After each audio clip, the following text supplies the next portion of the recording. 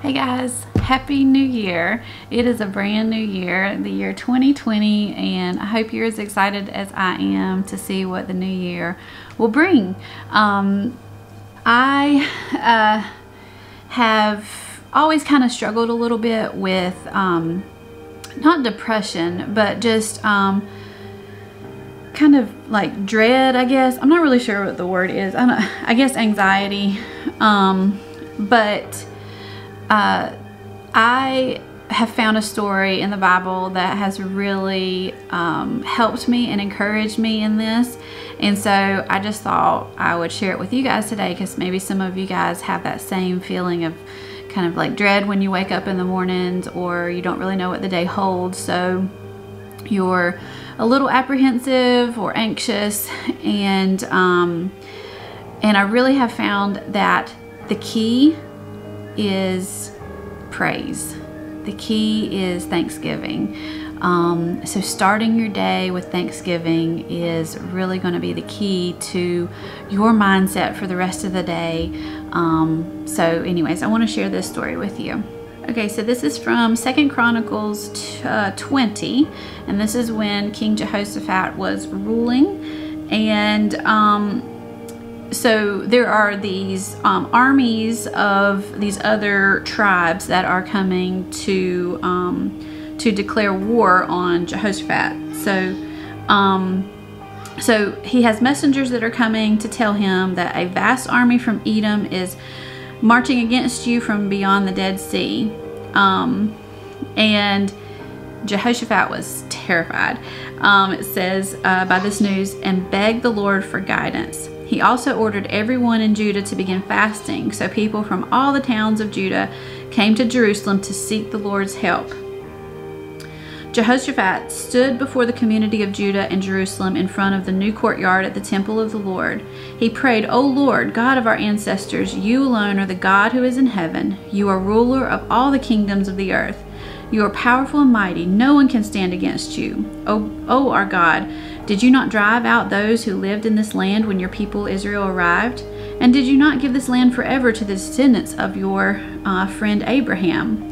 Your people settled here and built this temple to honor your name. They said, Whenever we are faced with any calamity such as war, plague, or famine, we can overcome, I mean, we can come to stand. They can't overcome too, but he says, We can come to stand in your presence before this temple where your name is honored. We can cry out to you to save us, and you will hear us and rescue us. And now see what the armies of Ammon, Moab, and Mount Seir are doing. You would not let our ancestors invade those nations when Israel left Egypt, so they went around them and did not destroy them. So basically, they're saying, um, look at these people. Look at how they. he's saying, look at how these people are repaying us um, for our kindness and going around them and not destroying them when we came to live here. Um, now see how they reward us, for they have come to throw us out of your land, which you have, which you gave us as an inheritance. O our God, won't you stop them? We are powerless against this mighty army that is about to attack us. We do not know what to do, but we are looking to you for help. As all the men of Judah stood before the Lord with their little ones, wives, and children, don't you think they were probably very fearful? They have armies, several armies marching against them. So they're standing there with all of their families, like just crying out to the Lord, What do we do? Um, the Spirit of the Lord came upon one of the men standing there. His name was Jahaziel, son of Zechariah, son of Benaiah, son of Jael, son of Mattaniah, a Levite who was a descendant of, of Asaph. He said, Listen, all you people. So the Spirit of the Lord has landed among this person, has come upon this person, and this person is going to speak um, from the Spirit. He said, Listen, all you people of Judah and Jerusalem, listen, King Jehoshaphat. This is what the Lord says Do not be afraid. Don't be discouraged by this mighty army, for the battle is not yours, but God's. Tomorrow, march out against them. You will find them coming up through the ascent of Ziz at the end of the valley that opens into the wilderness of Jer Jeruel, but you will not even need to fight. Take your positions, then stand still and watch the Lord's victory. He is with you, O people of Judah and Jerusalem. Do not be afraid or discouraged. Go out against them tomorrow, for the Lord is with you. So, kind of strange advice they're getting from the Lord, right? They're they're just supposed to go out and um, and take their positions as if they were going to fight, but they're not actually going to fight. Um, then King Jehoshaphat bowed low with his face to the ground, and all the people of Judah and Jerusalem did the same, worshiping the Lord. Then the Levites from the clans of Kohath and Korah stood to praise the Lord, the God of Israel, with a very loud shout. Early the next morning, the army of Judah went out into the wilderness of Tekoa. On the way, Jehoshaphat stopped and said, Listen to me, all you people of Judah and Jerusalem. Believe in the Lord your God, and you will be able to stand firm. Believe in his prophets, and you will succeed. After consulting the people, the king appointed, listen to this, the king appointed singers to walk ahead of the army, singing to the Lord and praising him for his holy splendor. This is what they sang. Give thanks to the Lord, his faithful love endures forever. At the very moment they began to sing and give praise, the Lord caused the armies of Ammon, Moab, and Mount Seir to start fighting amongst themselves. The armies of Moab and Ammon turned against their allies from Mount Seir and killed every one of them. After they had destroyed the army of Seir, they began attacking each other. So when the army of Judah arrived at the lookout point in the wilderness, all they saw were dead bodies lying on the ground as far as they could see. Not a single one of the enemy had escaped. I think that's amazing. Um, and then uh, it goes on to say that on the fourth day they gathered in the Valley of Blessing, which got its name that um, that day because the people praised and thanked the Lord there. So it's called the the Valley of Blessing. Um, or in um, Hebrew, it's called the Valley of Baraka. And um, and then let's see, verse 29 says, When all the surrounding kingdoms heard that the Lord himself had fought against the enemies of Israel, the fear of God came over them. So Jehoshaphat's kingdom was at peace, for his God had given him rest on every side. And I love that it says on every side. I don't know what, um, this is the um, New Living Translation Bible, but um, I don't know what all the other versions say. But I love that it says it gave him rest on every side because that just reminds me that when we are facing things that seem insurmountable, um, nothing like, I, I, mean, I don't know how many of us have had to stand there and um, and, kind of just wait in preparation for our kids and our families just to be killed. Um, many of us have not had to go through something like that, like these people were. Like they just knew we were going to be defeated, like, you know. Um, and, but whatever you're facing in your life, whether it's um, job situations or family situations or marriages that are falling apart or kids that are rebellious or whatever it is, um, it seems insurmountable at the time um, to where you can't see around it. And I love that it says it gave him rest on every side because it's not a matter of, um, okay, well, at least this part of my life is going well. This part is not. So I'm going to hold on to this part and um, and worry about it and dread it and be anxious over it because there's nothing anyone can do about it. And that's just not true. That's not the case. Um, God gives us peace that we can't even understand.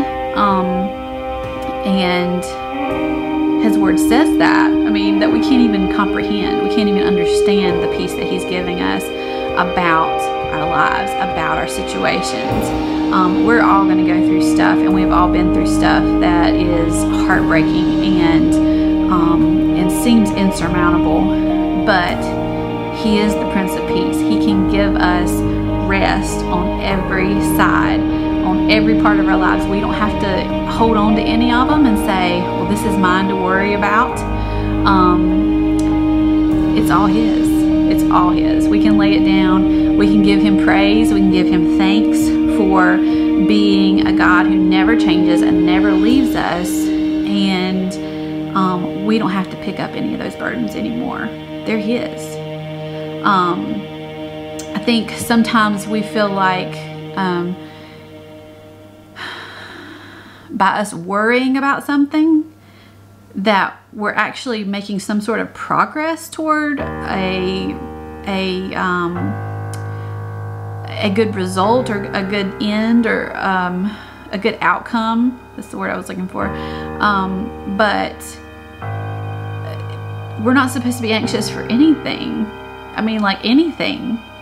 And and that seems incredible to say, but God is incredible. He can handle your burdens, the burdens that you don't want to lay down. That's why we worry. It's it's about control. It's about um, if I hold on to this tight enough, and I worry about it enough, and I stress about it enough, and if I think about it enough, then I'm going to come up with a solution to this, and I'm going to fix this problem. It's all about control. Nothing about worrying. Nothing about anxiety. Um, leaves room for God and His power to come in and bring peace to the whole situation. So, um, so that's my encouragement for you um, because this encourages me. I love that it says um, that King Jehoshaphat sent singers ahead of the army. Um, so he didn't even put his, his people on the front line who he knew could help defend his family, his kingdom. He put singers, he put worshipers, he put musicians out in front of them who were going to play music and they were going to sing praises to God um, because they believed who God said he was. And that's who I want to be. Um, and that's who I want you um, to be, that you have that incredible faith that you know no matter what, um, God is still good. God is still on the throne um, no matter what we're facing, no matter what tragedies um, come our way, um, that He's still there, He's still good, He has the power to give you peace in every single situation and on every single side. So, um, that is my hope for the new year for all of you. Um, that is my hope for myself and for my husband and my kids um, that we just remember to praise Him in the storms, that we remember to um, call out to Him and um, worship Him for who He is, and um, and that will give us just such a, a great amount of peace um, because He loves to hear from us, and He loves um, He loves our love. He loves to know that we love Him and we adore Him, and we praise and we honor Him. So that is my wish and my blessing on you this year for 2020. And um, I hope this has encouraged you in some way, and I hope you will dig into the Word yourself and find your own um, special um, special scriptures, special um, accounts in the Bible that will give you um, will give you encouragement and um, that you can kind of hold on to and remember in tough times. So I hope you guys have a wonderful day, and I'll talk to you soon. Bye.